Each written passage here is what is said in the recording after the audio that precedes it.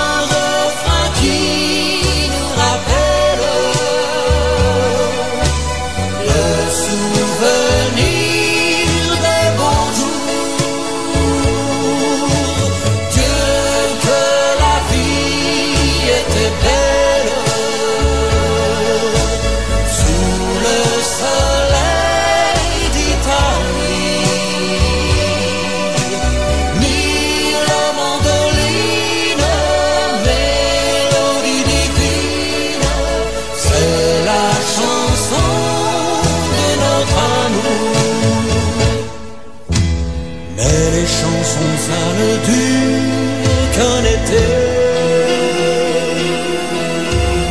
Un jour, la nôtre nous a quittés. On la croyait disparue.